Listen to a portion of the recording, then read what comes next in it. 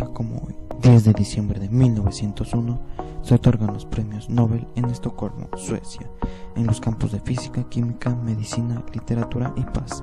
Los premios Nobel están financiados por un fondo creado después de la muerte de Alfred Nobel, el inventor sueco de la dinámica y otros explosivos de alto poder. Poder.